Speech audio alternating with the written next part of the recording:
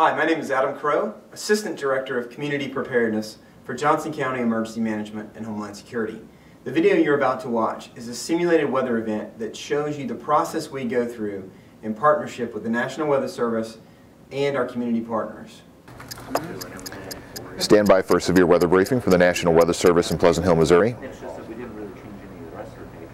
It was close Okay, we've got a variety of weather conditions coming together today. Uh, we've got uh, pretty good instability and uh, quite a bit of shear. Looks like storms should be popping around 2 p.m.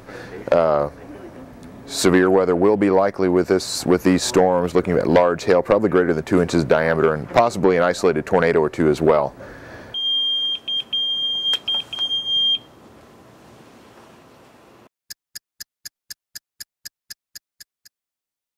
Hello, Net Control.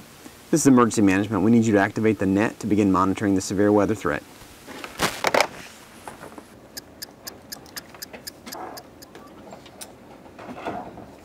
This is K0 ECS, net control for the Johnson County Emergency Communication Service Severe Weather Net. Activating the net for Severe Thunderstorm Tornado Watch 999, in effect until 12 a.m. tomorrow. The National Weather Service indicated the storm would be coming from the southwest, so we'll go ahead and put our spotters out in the pre-identified locations.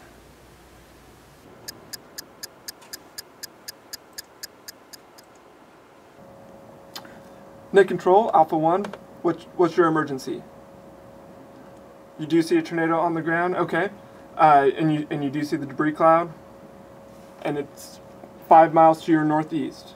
Okay, we will notify Johnson County Emergency Management of the situation. You spotted a tornado?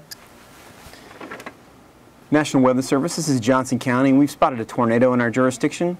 We're going to initiate the activation of the outdoor warning siren.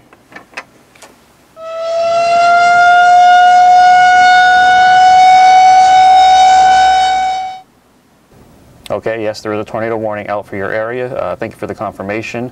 Uh, we'll definitely include that in the warning uh, and, and the following statements. Remember, there's a few things to consider when being prepared for severe weather. The outdoor warning siren system is only activated for tornado warnings. That's why it's critical for you to have a NOAA all hazard weather radio and to monitor local media to ensure the threat is beyond your home and family.